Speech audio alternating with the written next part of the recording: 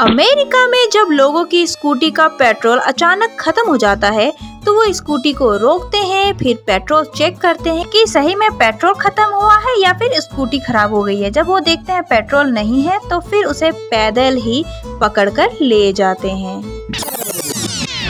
और जापान में जब लोगों की स्कूटी का पेट्रोल अचानक से खत्म हो जाता है तो वो स्कूटी को रोकते हैं और फिर आसपास देखते हैं कि कोई हेल्प के लिए है कि नहीं। देखते हैं कोई नहीं है तो वो स्कूटी को वहीं छोड़कर चले जाते हैं। इंडिया में जब लोगों की स्कूटी का पेट्रोल अचानक से खत्म हो जाता है तो वो स्कूटी को रोकते हैं उसके बाद टंकी को खोलते हैं और उसमें फूक मारते हैं।